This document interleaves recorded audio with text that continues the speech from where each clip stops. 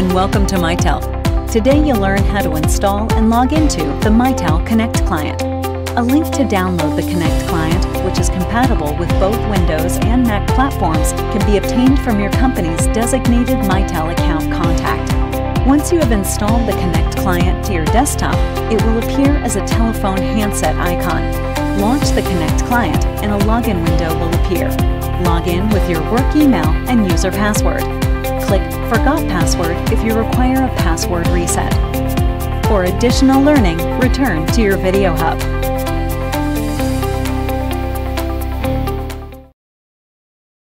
For more helpful information and videos, please visit www.visible-it.com.